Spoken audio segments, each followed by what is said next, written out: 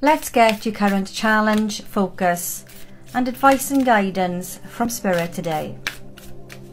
Okay, so your current challenge is security. You're feeling insecure. You're feeling that your security or your sense of security is being threatened.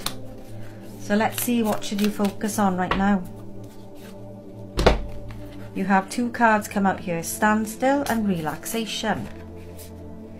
Feel that your focus right now is taking some time out to meditate, to reflect. Think about why are you feeling insecure? Relax feel the energy, go with the flow. And I always feel when I see the stork here with the standstill card that good news is coming.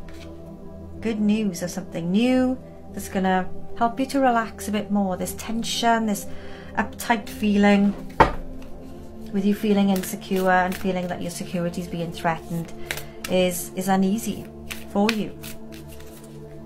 So take some time out from this situation. Remember to breathe. Breathe in and breathe out. Deep breaths to, to calm the mind. And you will feel a sense of blessings here. By just relaxing and going with the flow and not allowing things to to overwhelm you. Miracles are about to happen for you.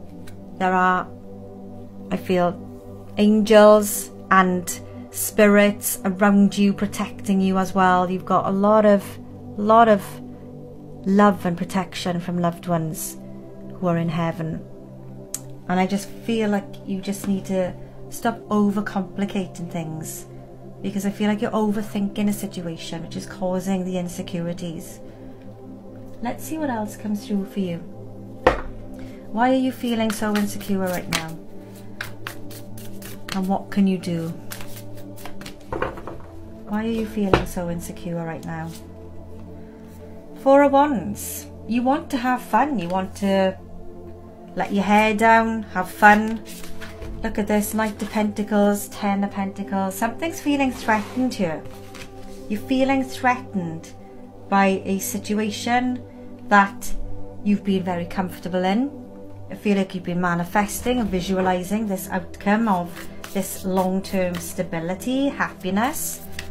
But I do feel like something's about to change here for you for the better. That's going to really help you change your mindset. It does almost feel like there's a miracle coming for you. And it's going to just simplify things for you. And when you simplify things and you don't overthink things and don't overcomplicate things in your mind, the simplicity makes things just flow so much easier, so much better, and you'll start to see the blessings coming. I feel there's a lot of blessings coming. You've got the Four of Wands. This is happy relationships. This could be a happy relationship with someone who is potentially a soulmate. Or there could just be some good news and good energy around friends and people who you have strong connections with. Not just intimate connections, but your friends, your family, your tribe.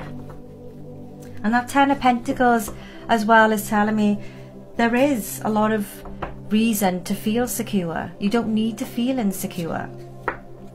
It's all in the mind. And when you let go of that, that's when you'll start to feel, oh, more relaxed, happier, secure at last. Queen of Cups. Queen of Cups, emotionally satisfied as well. Being in check of your emotions. Taking those breaths in and out, deep breaths in and out to calm the mind meditation, Four of Swords there as well, about the relaxation, taking time out to really think things through realistically, rationally, and be more pragmatic in your thought process. Page of Pentacles coming in there to say, you're learning. You're a student in life. We all are students in life. But for you, it's about, wow, death and rebirth. This is you letting go of complicated complex thoughts, simplifying them, knowing that you're divinely guided, divinely protected, and a new start and a new beginning is coming for you. Almost feel like you're going through a spiritual awakening right now.